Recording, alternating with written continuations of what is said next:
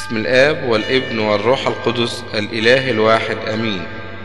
يسر مكتبة البابا كيرلس بشبرة أن تقدم تأملات روحية يقدمها لنا الروح القدس على فم حضرة صاحب النيافة الحبر الجليل الأنبا متاؤس أسقف ورئيس دير السيدة العذراء السريان بعنوان الصليب طقسيا وكنسيا.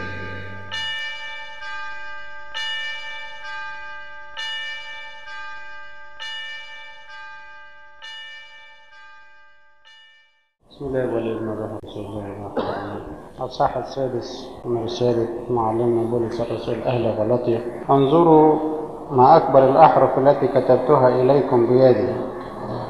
جميع الذين يريدون أن يجعلوا يعملوا منظرا حسنا في الجسد هؤلاء يلزمونكم أن تختتنوا لئلا يضطهدوا لأجل صليب المسيح فقط. لأن الذين يختتنون هم لا يحفظون الناموس بل يريدون أن يختتنوا تختتنوا أنتم لكي يفتخروا في جسدكم. وأما من جهتي فحاشا لي أن أفتخر إلا بصليب ربنا يسوع المسيح الذي به قد صلب العالم لي وأنا للعالم. لأنه في المسيح يسوع ليس الختان ينفع شيئا ولا الغرلة بل الخليقة الجديدة. فكل الذين يسلكون بحسب هذا القانون عليهم سلام ورحمة وعلى إسرائيل الله. نعمة الله العيد تحل على أرواحنا جميعا. الموضوع بتاعنا عن الصليب كتابيا وتقصيا الصليب وظلاله في العهد القديم وما ذكر عنه في العهد الجديد. الصليب في الطقس كسلاح وأداة هامة لا يعمل شيء من الطقس بدون الصليب.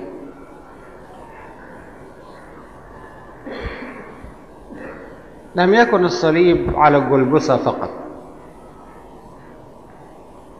الصليب ما كانتش بدايته أن يصلب عليه المسيح ويظهر الصليب لكن له جذور متعمقة في العهد القديم. أول صورة نلاقيها في جنة عدن حيث خلق آدم وغرس الله جنة عدن شرقا ووضع فيها آدم الذي خلقه. وضع فيها شجرة تسمى شجرة الحياة. كانت هذه رمزا للصليب. هي مصنوعة من خشب والصليب مصنوع من خشب.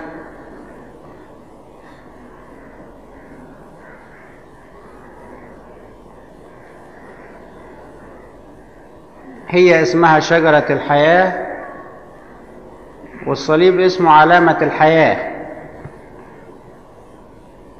وحتى في العبادة الفرعونية كان العلامة اللي على هيئة صليب دي كانوا بيسموها علامة الحياة. اللي بنسميها أحيانا مفتاح النيل هم كانوا يسموها علامة الحياة أو أو رمز الحياة. شكلها تمام زي شكل الصليب. ودي والشجرة كان اسمها شجرة الحياة. من يأكل منها لا يموت إلى الأبد. أيضا من يتعلق بالصليب من يتعلق بالصليب يحيا إلى الأبد. في شجرة تاني طالعتنا أيضا في سفر التكوين هي شجرة إبراهيم. إبراهيم لما أخذ ابنه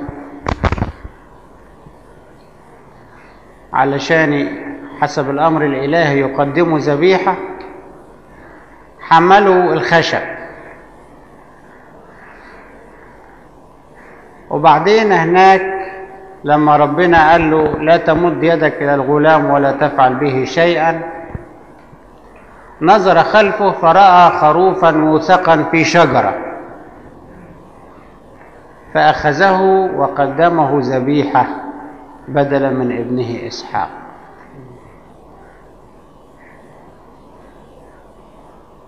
في قسمة إسحاق اللي دايما بنصليها يوم خميس العهد يوم خميس العهد. يقول وكما حمل إسحاق حطب المحرقة هكذا أيضا حمل حمل المسيح خشبة الصليب. يعني دكها بعد ما وصلوا عمل المذبح ورتب عليه الحطب وأوثق إسحاق وأراد ذبحه. تمام نفس العملية حصلت مع المسيح. هو بنفسه حمل الصليب من دار الولاية إلى جلجسة وهناك سمروه على الصليب. ومش بس الحطب اللي حمله إسحاق كمان الشجرة نفسها أخرجت الشجرة أخرجت الخروف الذي قدم محرقة. وفي تقاليد بتقول بس تفتقر إلى الصحة طبعا أو إلى الإثبات إن من هذه الشجرة التي خرج منها هذا الكبش اللي قدمه إبراهيم إبراهيم محرقة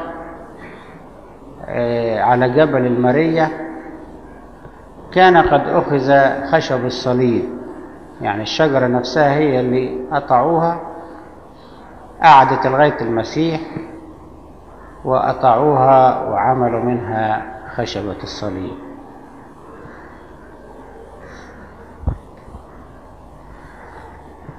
أيضا العصا التي كان يمسكها موسى كانت ترمز إلى خشبة الصليب؟ عصايا كان يسميها عصا الله. موسى كان يسميها يقول ذهبت وعصا الله في يدي. اسمها عصا الله. عملت معجزات جبارة جدا.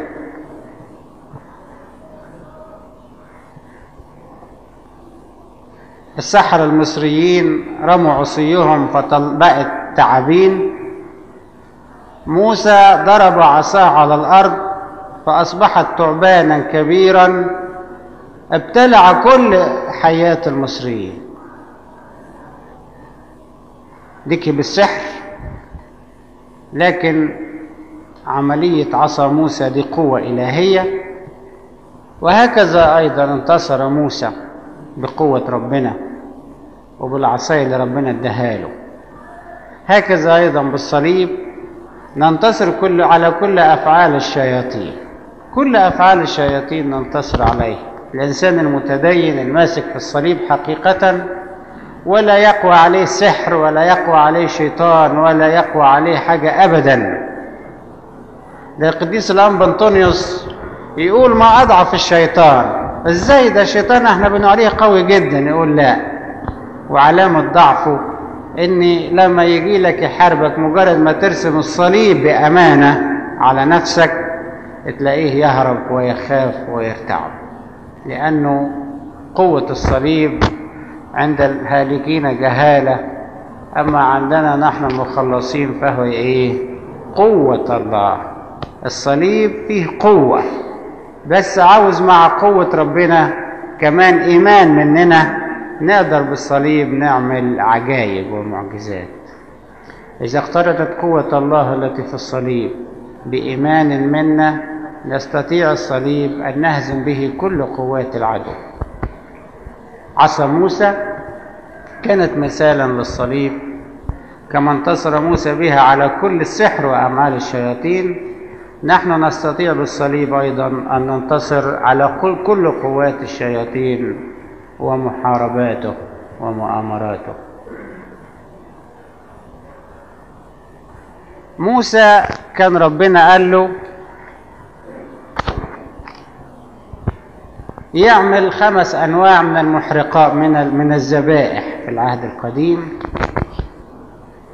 يعمل خمس أنواع من الذبائح ذبيحة المحرقة وذبيحة الاثم وذبيحه الخطية ذبيحة السلامة تقدمة القربان.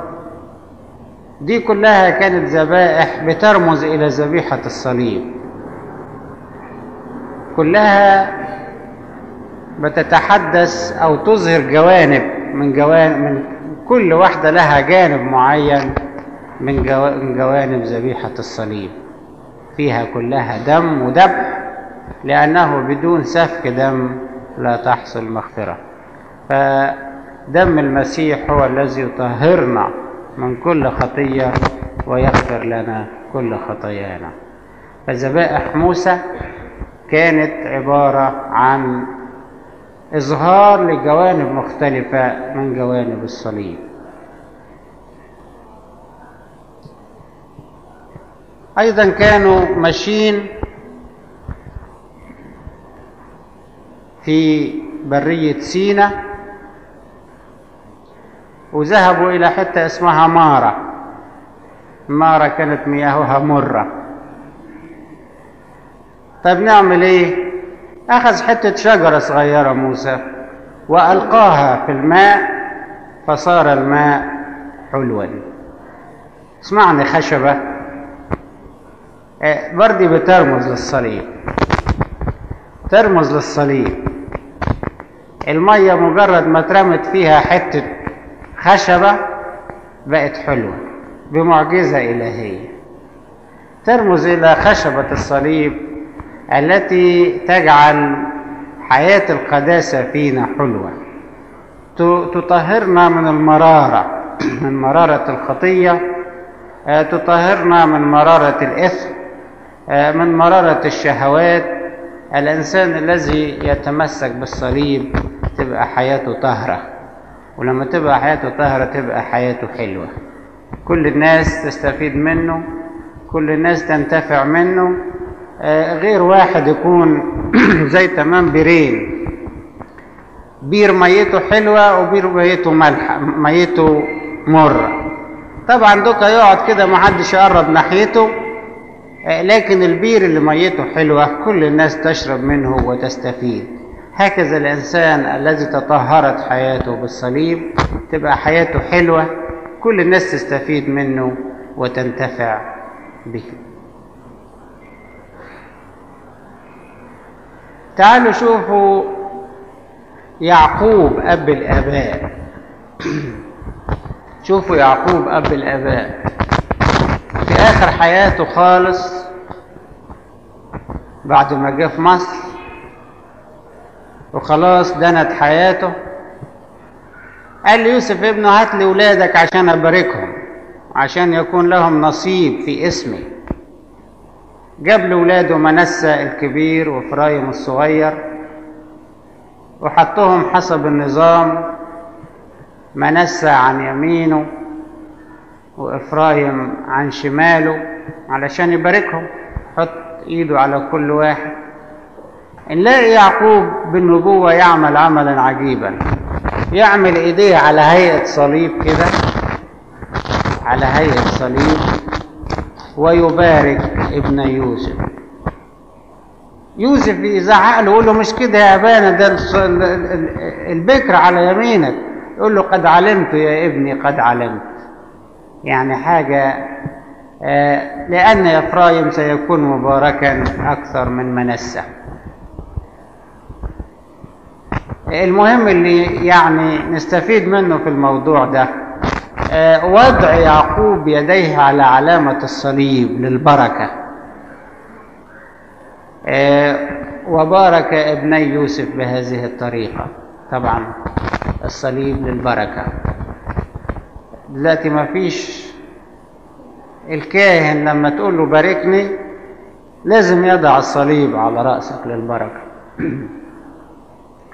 ولو ما كانش معاه الصليب أحيانا لازم يرشم على الإنسان الذي يطلب البركة بعلامة الصليب لأن الصليب وعلامة الصليب هي علامة ابن الإنسان اللي قال عليها المسيح وتظهر علامة ابن الإنسان في السماء الصليب الذي به نلنا الخلاص ونلنا الغلبة.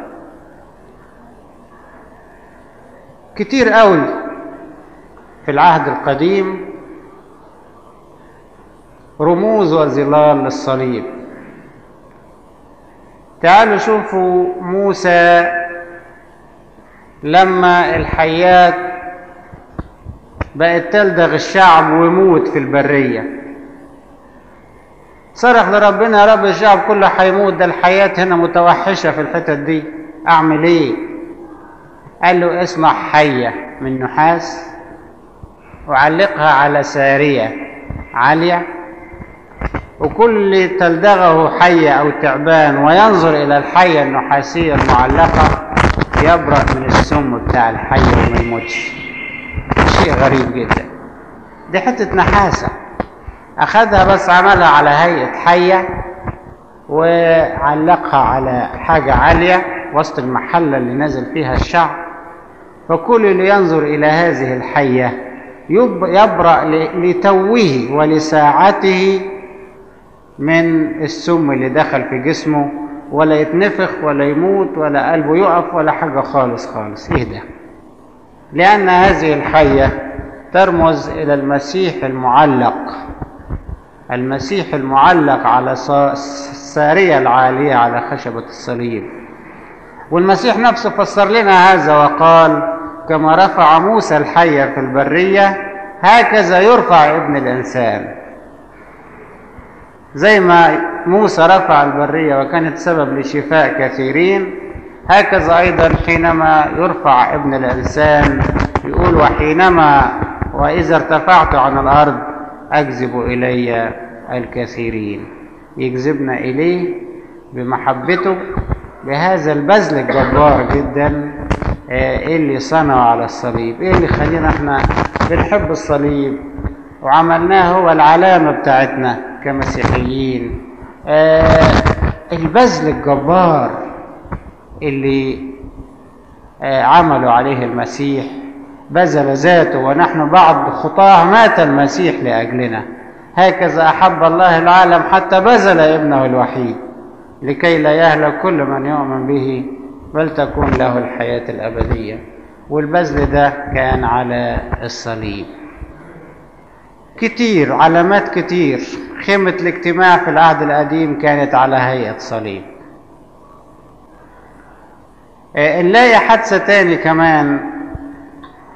تثبت لنا قوة الصليب وخشبة الصليب. كان إليشع معاه مجموعة من بني الأنبياء. بيقطعوا خشب. وتحت الشجر بتاع اللي بيقطعوا منه نهر مية أو ترعة. بعدين واحد بيقطع الخشب فوقعت البلطة أو الفاس الكبيرة اللي بيقطع بيها وقعت في المية. فصرخ يقول يا رجل الله إنها عارية. يعني الحقن ده أنا مستلفها. أنا مستلفها. وقعت في المية وغطست والمية عميقة أعمل إيه؟ قال له طيب ما تخافش. راح قطع حتة خشبة من شجرة ورماها في المكان اللي وقعت فيه الفاس فبصينا لقينا الفاس طفت على المية قال له خذها لك فأخذها. حتة الخشبة وقعت فطلعت الفاس التقيلة اللي كلها حديد خلتها طفت من فوق إيه ده؟ طبعا ليست للخشبة قوة في ذاتها أن تفعل هذا وإنما هي رمز للصليب.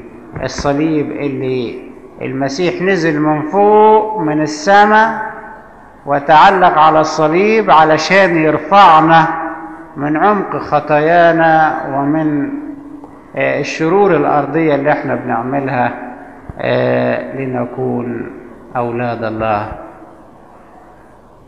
واحد القديسين يتجاسر ويقول صار المسيح إنسانا نزل المسيح وصار إنسانا لكي نرتفع نحن ونصير آلهة. يعني شركاء نكون شركاء للطبيعة الإلهية. طبعا الصليب في العهد الجديد كل الأناجيل الأربعة ذكرت حادثة الصلب وطريقة الصلب. الرسل. ما فيش رسالة يكتبوها إلا ويتكلموا عن الصليب وعن بركات الصليب. ولماذا نفتخر بالصليب زي ما هنا بيقول؟ أما أنا فحاشا لي أما من جهتي فحاشا لي. أن أفتخر إلا بصليب ربنا يسوع المسيح الذي به قد صلب العالم لي وأنا للعالم. إيه يعني الصليب ده كان في زمان علامة اللعنة وعلامة العار.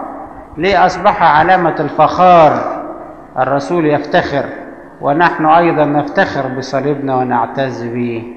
طبعا لأن المسيح صلب عليه. إلهنا المتجسد الفادي فدانا من على الصليب. عشان كده فيه ارتباط قلبي جبار جدا بيننا وبين الصليب لأننا حصلنا على الفداء بواسطته. كان هو الآلة وكان هو المذبح الذي رفع عليه المسيح بإرادته لكي يفدينا بدمه الطاهر والثمين. بهذا بهذا الصليب حصلنا على الخلاص. بهذا الصليب نلنا بركات الحياة الأبدية وخرجنا من اللعنة. صار المسيح لعنة لكي نصير نحن بر الله فيه. افتخارنا بالصليب ليس باطلا ولكن للبركات الكثيرة جدا التي أخذناها بالصليب.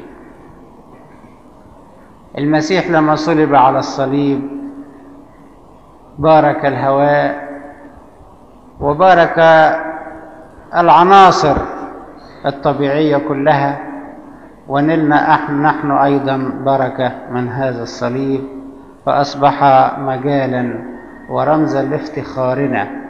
نفتخر به نعلقه على كنائسنا نعلقه على صدورنا نعلقه أو نرسمه على أيدينا وهكذا ليكون الصليب دائما أمامنا. نفتكر به المصلوب المسيح المصلوب عليه من أجل خلاصنا. المسيح في الطقس. طبعا الصليب هو سلاح الكاهن. ما تلاقيش كاهن ولا أسقف يمشي من غير الصليب. زي تمام الرجل الجندي اللي ما يمشيش من غير سلاحه هكذا أيضا الكاهن سلاحه هو الصليب ما يمشيش من غيره ماسكه في إيده أو حطه في جيبه. ما ما يسيبوش ابدا لأن هو ده السلاح وهو ده العلامة اللي بيعطي بها البركة لكل من يطلب. تعالوا شوفوا كل الأسرار كل الأسرار اللي في الكنيسة. فيها رسومات الدنيا والآخرة. يعني يقول المعمودية لوحدها فيها خمسين رشم صليب. في صلاة الشكر وعلى المية بزيت الميرون وعلى المية بزيت الساذج وساعة ما جحد الشيطان وساعة ما يدهن الولد بالزيت ويدهن أمه بالزيت وكله كله يرسمها بعلامة الصليب يرشم عليها بالصليب يرشم على المية يرشم عليها بإيده وياخد زيت ويرش ويرشم على المعمودية حوالي خمسين رشم صليب في سر المعمودية بس. بعدها ستة وثلاثين صليب في الميرون. علامة الغلبة وعلامة الانتصار وختم المسيح وعلامة ابن الإنسان كلها دي كلام يقوله الكاهن وعلامة الفرح كل ده كلام يقوله هو بيرشم الطفل المعمد من رأسه إلى إخمص قدمه بعلامات الصليب يختمه. ختم الصليب الذي لا يمحى يختمه على جسده وعلى عقله وعلى قلبه وعلى كل مفاصله وكل الحواس بتاعته علشان تتقدس بعلامة الصليب. يقولوا القداس قداس المؤمنين لوحده فيه حوالي 48 رشم صليب.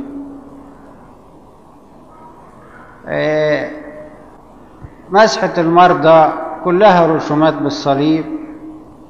الإكليل كله رسومات بالصليب لما يمسك الزيت ويرشم عليه بالصليب كم رشم.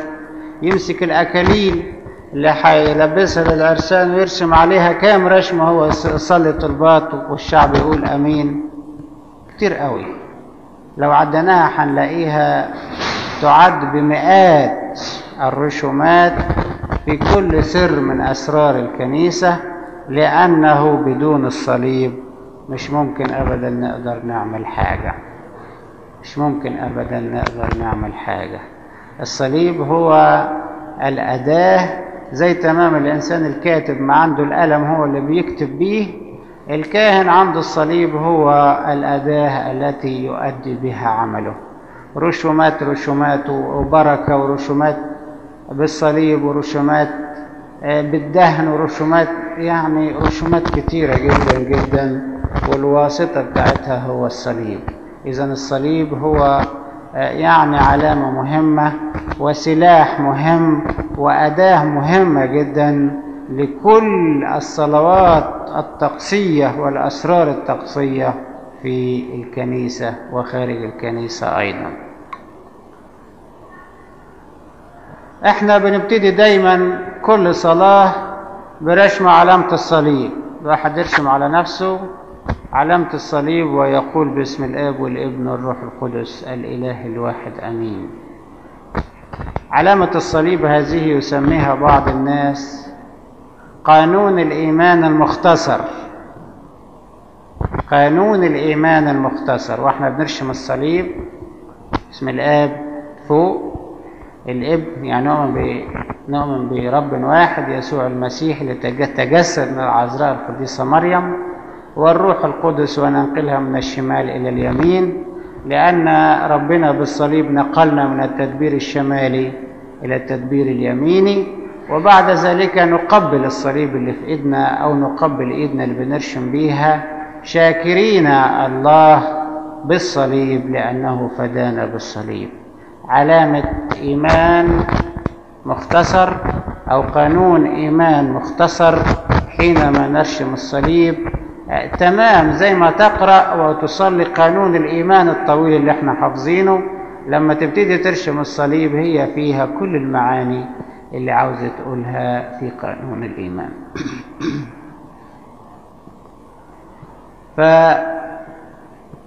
فكل ما ترشم علامة الصليب على ذاتك كأنك صليت قانون الإيمان. وطبعا آه، يعني ريت رسم الصليب ده يكون له معنى في أذهاننا ويكون له تأمل في عقولنا لأن من القديسين يقول الشياطين تضحك على الذين يرشمون الصليب باستهانة. الشياطين عارفة أن الصليب ده مرهب ومخيف ليها. فتنبسط قوي لما تلاقي واحد بيرشمه كده أي حاجة من غير تأمل ومن غير هدوء وتأدية واجب. طبعا ما يؤديش القوة اللي يؤديها الصليب المرشوم بهدوء وبتأمل وبقوة وبإيمان في الصليب آه الذي آه فدانا المسيح عليه. الكنيسة بتع- بتعيد في السنة عيدين للصليب. عيدين للصليب. 17 توت بكرة وعشرة برمهات بيجي في أوائل الصيام الكبير. واحد ل ظهور المسيح ظهور الصليب على يد الملكة هيلانا والآخر بمناسبة إرجاع الصليب من عند الفرس على يد هرقل الملك الرومي المسيحي. بنعمل في العيدين دول طقس عجيب جدا بيتعمل دايما في باكر. في في رفع بخور باكر يوم عيد الصليب. بيتعمل طقس عجيب جدا آه، بيتعمل في اليومين دول وبيتعمل كمان يوم أحد الشعانين. بص تلاقي جابوا صليب كبير من الخشب وزينوه بأوراق وأغصان الزيتون. وسعف النخل وبعض الورود والأزهار الكويسة وحطوا عليه كده ثلاث شمعات من فوق وعلى الجانبين وابتدوا يعملوا به زفة في الكنيسة كلها زفة عجيبة جدا. يقروا فيها 12 إنجيل تقريبا في آه، جوانب الكنيسة كلها. ولما تتأمل في ليه بيعملوا كده تلاقي فيه ارتباط بين الصليب وبين كل مكان آه، يقف فيه الناس اللي بيصلوا هذه الدورة. يقف الأول قدام المذبح الكبير. الصليب كان هو المذبح اللي صلب عليه المسيح. المذبح هو آه، العرش الملكي اللي بيكون عليه جسد المسيح المذبوح. من أجلنا. خذوا كل هذا كلكم هذا هو جسدي الذي يقسم عنكم. وخذوا اشربوا منها كلكم لأن هذا هو دمي الذي العهد الجديد يسفك عنكم وعن كثيرين يعطى لمغفرة الخطايا. ففي شبه بين المذبح وبين الصليب. وبعدين يروح قدام سورة العذراء ويبخر ويقرأ حتة والصليب مسكين وكده. ففي علاقة بين العذراء والصليب آه ده سمعان الشيخ قال لها وأنت أيضا يجوز في نفسك سيف. العذراء أول واحدة حملت صليب المسيح. هروبها لمصر ده ما كانش صليب. تعبها من أجل المسيح ومن أجل ميلاده ما كانش صليب. وهكذا العذراء أول من حملت صليب المسيح. بعد كده يروح للملاك غبريال هو اللي بشر العذراء بميلاد المسيح المصلوب. بعد كده الملاك ميخائيل. بنسميه إحنا ملاك القيامة لأنه هو الذي جاء وزحزح الحجر من على باب القبر بعد صلب المسيح و... وموته وقيامته. بعد كده بنروح لماري مرقس. ماري مرقس أول من حمل الصليب في ديار مصر. صليب البشارة وصليب الاستشهاد أيضا. استشهد من أجل البشارة والكرازة بالإنجيل وبالصليب. بعد كده الآباء الرسل. الآباء الرسل مجتمعين. كلهم حملوا صلبان البشارة طبعا وكلهم حملوا صلبان الخدمة وكلهم أيضا حملوا صلبان الاستشهاد.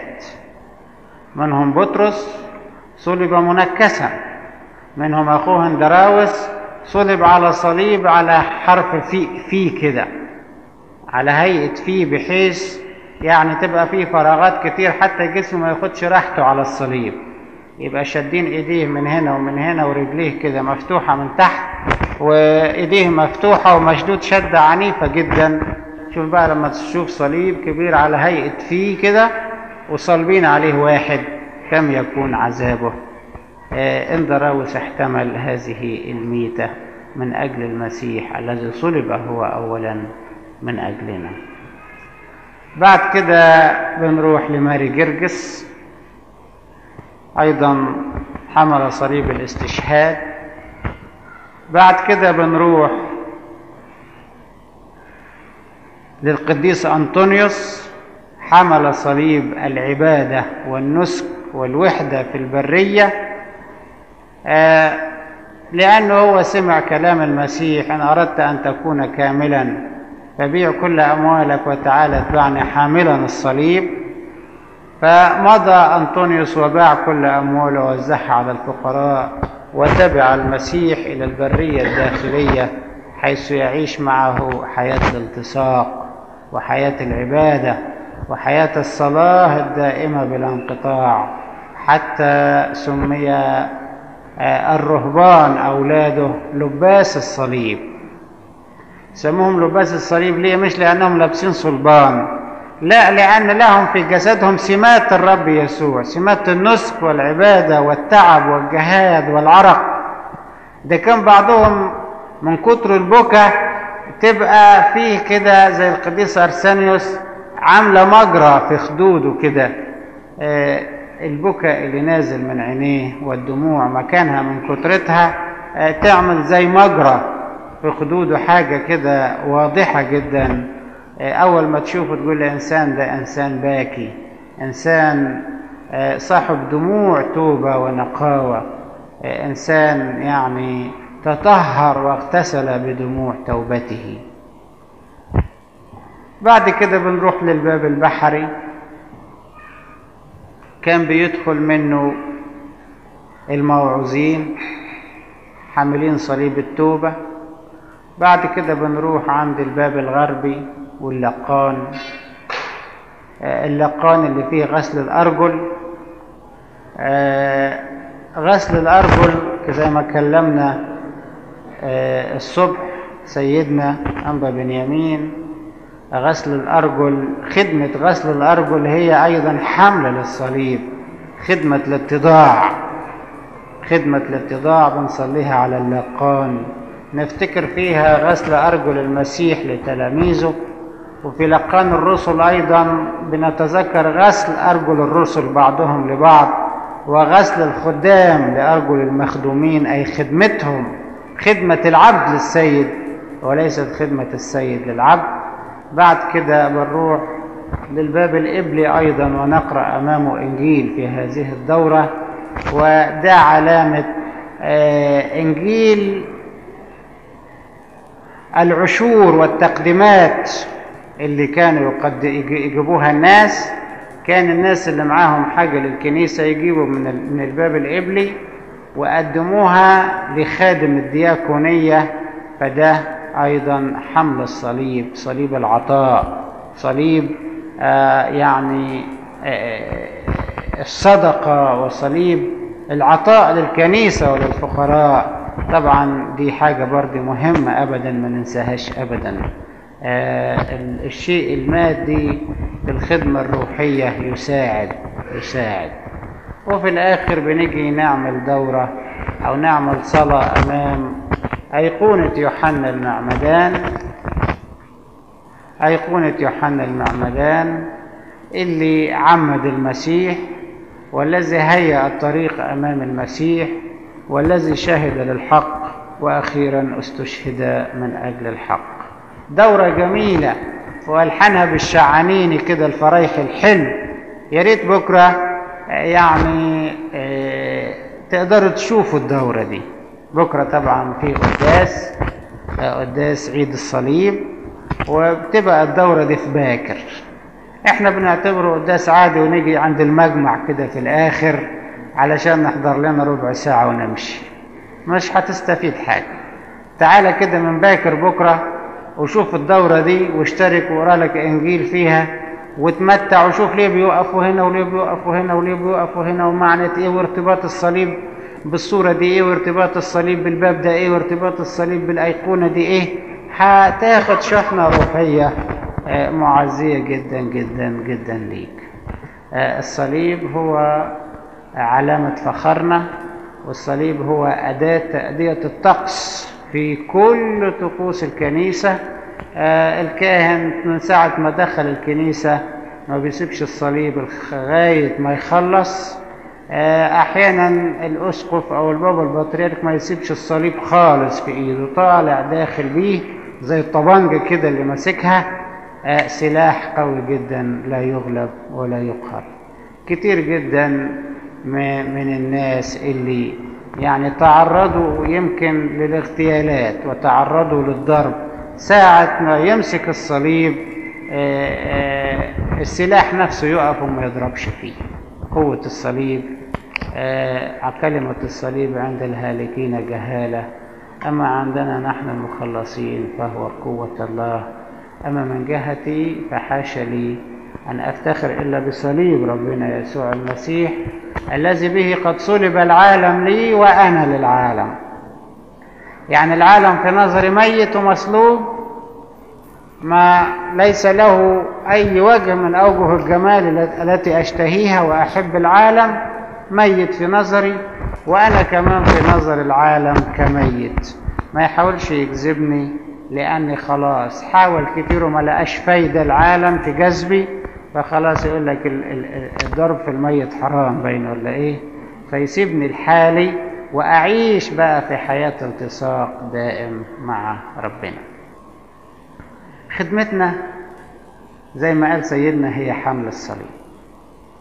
والخدمة دايما فيها آه يعني القاء فيها آه الرأسي العمل الرأسي والعمل الأفقي.